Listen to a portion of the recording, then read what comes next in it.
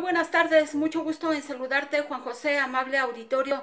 Por el incremento de los casos de COVID aquí en el municipio de Zitácuaro y la región, los negocios expendedores y de renta de tanques de oxígeno medicinal, bueno, pues también han colapsado. Muchos de ellos cierran ya sus puertas porque no tienen la capacidad de abastecer la demanda de los ciudadanos.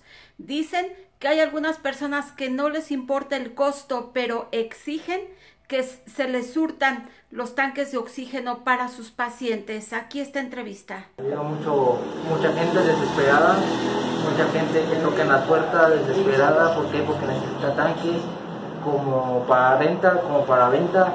Eh, ha llegado gente que paga lo que, pues lo que sea, pero no hay, hay poco, como, ¿cómo le puedo decir?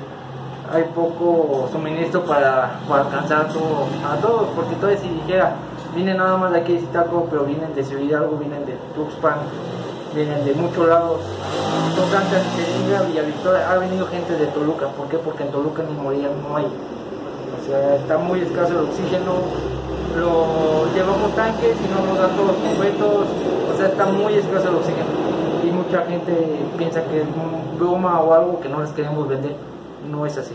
O sea, la gente no, hay, hay gente que no entiende, hay gente que sí piensa que es broma, pero no, la cosa está muy crítica. Y es que aquí en el municipio de Zitácuaro los casos se han disparado y bueno, pues ya son más de 1100 casos los que se tienen aquí en Zitácuaro y las muertes y las defunciones pues todos los días. Desde el municipio de Zitácuaro les informa Magda Alonso.